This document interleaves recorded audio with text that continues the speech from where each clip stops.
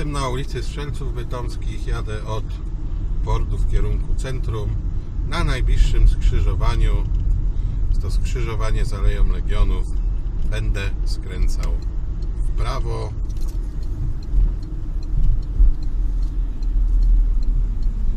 Oczywiście z prawego pasa, blisko prawej strony. Upewniam się, bo w tym samym czasie na Alei Legionów mógłby być otwarty ruch dla pieszych. A następnie pojadę tak, jak przebiega droga z pierwszeństwem. Czyli jadę w prawo i pojadę w lewo na najbliższym skrzyżowaniu. Skrzyżowanie równorzędne. Oczywiście z prawej strony parkingu nie bierzemy pod uwagę, ponieważ stamtąd pojazdy włączają się do ruchu. Pojazd sprzeciwka stoi gdzieś tam na boku. Upewniam się, bo tramwaj z obu stron miałby tutaj przede mną bezwzględne pierwszeństwo. Pamiętajmy w sytuacji równorzędnej, to tramwaj ma pierwszeństwo przejazdu. Więc ja jadąc z tego kierunku ustępowałbym tramwajowi, ewentualnie pojazdom sprzeciwka, a miałbym pierwszeństwo przed pojazdami z prawej, dlatego że po prawej był parking jakiegoś tam marketu, a wyjeżdżając z parkingu włączamy się do ruchu.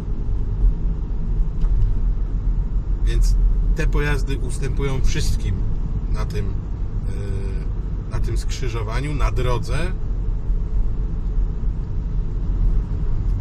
Tak wygląda tamto Przy stadionie skrzyżowanie z Łużycką skręcam w lewo.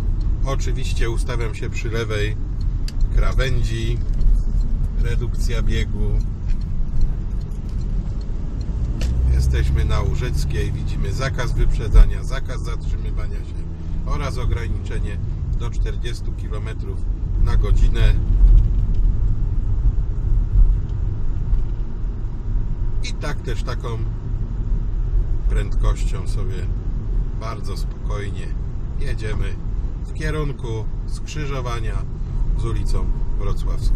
Jak widzimy znowu przypomnienie zakaz wyprzedzania ograniczenie prędkości natomiast dalej yy, zakaz wyprzedzania, zakaz zatrzymywania się. Nadal e, bym się tutaj stosował do ograniczenia prędkości, bowiem to po prawej stronie. To był wjazd na jakąś dawną kopalnię